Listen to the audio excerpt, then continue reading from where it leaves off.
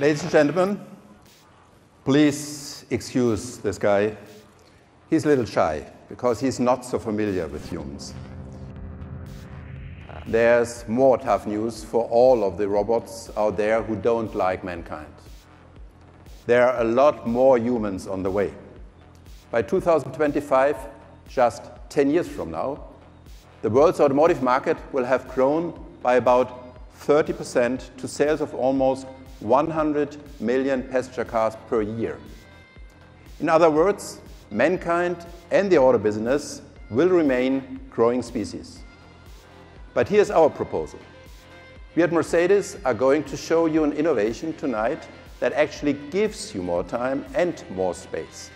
There will be exclusive cocoons on wheels that enable people to do exactly what they want or need to do. Autonomous driving S-Class on a 60-mile route.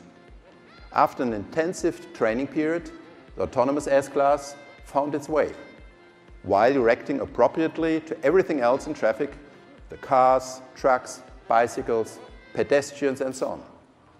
And it did this without any glitches, breakdowns or accidents, without the safety driver's intervention, and without getting a ticket or even the finger.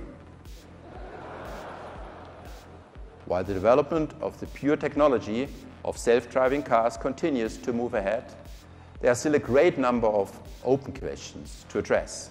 For example, whom are we going to hold responsible in the unlikely event that an autonomous driving car crashes? Or how should the car decide on ethic aspects if an accident is really unavoidable.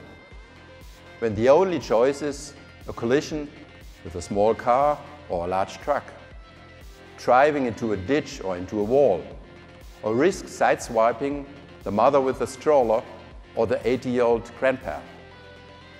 These are only some areas in need of discussions and solutions.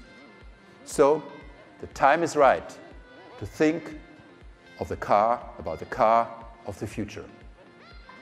At Mercedes-Benz, we did rethink the car from scratch. Ladies and gentlemen, this is the Mercedes-Benz vision of the car of the future. This is our concept car, F015 Luxury in Motion. Two words here, clean and clear. As you can see, we moved the big wheels to the very edges of the car. This is what we call the carriage concept. You're already familiar with that shape. I admit, we first had this idea back in 1893 with the Benz Motorwagen. It builds on the concept of a third place, in addition to home and office. A place where we will actively want to and enjoy hanging out. Other spaces of our lives have gone through big change before. Just Think, for example, about how bathroom layouts have transformed. They've gone from a room with a very specific purpose to a private space in which you want to spend time and relax in.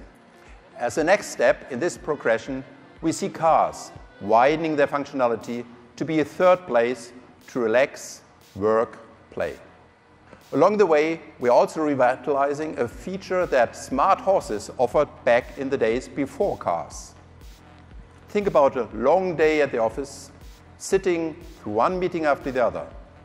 Back in the day, the smart horse was able to smell the barn and take its owner home safely and autonomously. So will F015. Autonomous cars will need to find different ways to actively communicate with the outside world. F015 has a suggestion here as well. Let's see this. The LED lights follow the movement and thereby indicate, all right, right, I can see you. In addition, the back of the car alerts the upcoming traffic that there's a person ahead. This feature alone will increase road safety. This car is not only able to determine when it's safe to cross the road, it can even display a crosswalk on the street. So people of any age get the look and feel that is familiar. It also actively tells you when it is safe to start walking across.